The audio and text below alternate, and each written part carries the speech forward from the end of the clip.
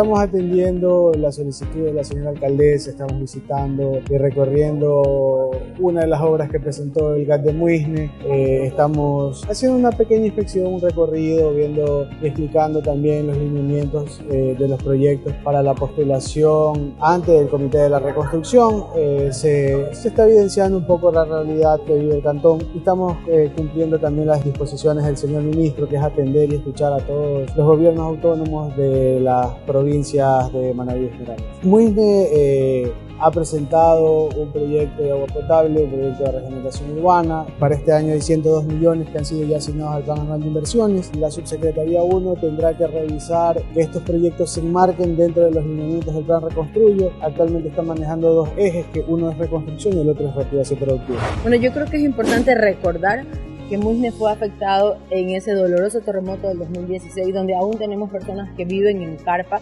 Eh, finalmente, en este momento para nosotros es importante la presencia del gerente de la reconstrucción que permite que él pueda palpar la necesidad que tiene el cantón y los proyectos que hemos presentado como alcaldía sean priorizados para que por fin Muisne tenga una intervención que permita efectivamente hacer una reconstrucción para que la isla dinamice su economía, que nuestra gente mejore su calidad de vida y sin duda esta visita nos llena de esperanza porque nosotros ya hemos presentado los proyectos. Hemos presentado los proyectos siendo muy conscientes de la realidad que tiene el cantón y priorizando. Necesitamos todo, obviamente no podemos cambiar en cuatro años 66 años de desadministración, pero ya hemos empezado. Entonces para mí es muy importante esta visita del recorrido para que se pueda ver ya desde el Ministerio de Transporte y Obras Públicas las obras que nosotros hemos presentado tanto en la cabecera cantonal como en las parroquias y también es importante precisar que dentro de estos proyectos nosotros hemos colocado el agua potable para el campo Muisne, que es una necesidad tan indispensable de todo ser humano para poder vivir y que Muisne en este momento no tiene ni agua potable ni alcantarillado. En todo caso,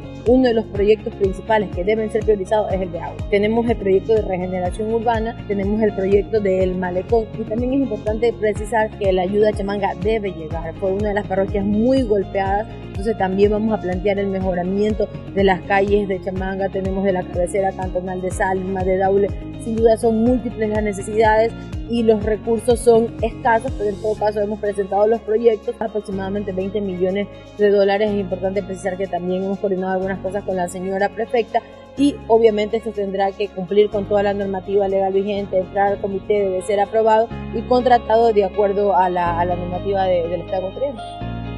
Juntos levantamos a Muisne.